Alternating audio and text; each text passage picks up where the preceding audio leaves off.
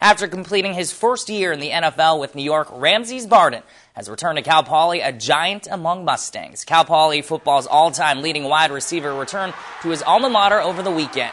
KSBY Sports caught up with the former Mustang to discuss the third-round draft pick's rookie year.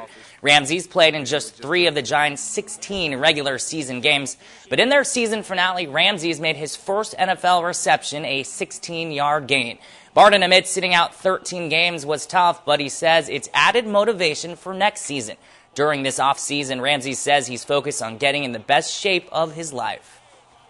Uh, a little bit of a wake-up call. You know, you go from big fish in a, in a small pond to to, to just a fish. But it, but you know, I, I, my, my my goals are big. You know, my, my confidence is high, and I'm, I'm excited to see, you know, with, after putting you know the work forward that I that I plan to, is uh, you know what is going to be available for me next year, and I, and I think uh, you know a lot of it will pay off.